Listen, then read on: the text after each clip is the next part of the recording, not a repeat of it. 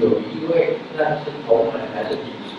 你是这个敌士的，哦，他就是常常在这边说话，啊，他是跟一些像他跟这个跟什么动物啊，什么蚊子啊、苍蝇啊、蜘蛛啊、螃蟹啊、乌龟啊、啊老鼠啊、蛇啊，一直讲说他可以跟这些沟通，啊，一直讲这些。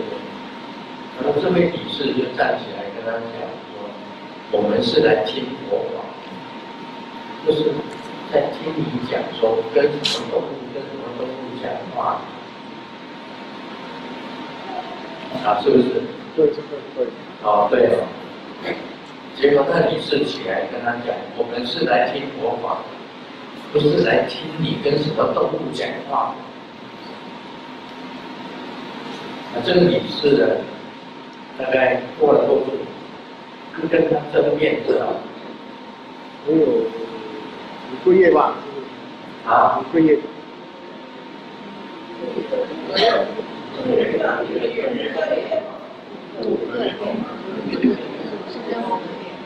五个月就出了这个，出了车祸，对，啊，出了车祸，然后就跟丢钉了，就是。啊，这个也是一件比较悲惨的事情。那么这次来呢，我想把它从这个啊，你们可以观想它，因为它被抓被抓可以观想它，然后是遵从这个他这个叉叉符啊，给他救出来。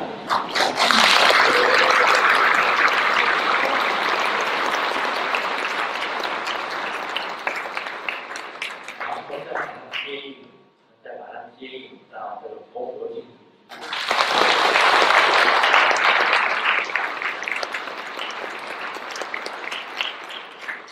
这个理事也讲的非常的对，我们是来听佛法，不是来听你跟动物讲话。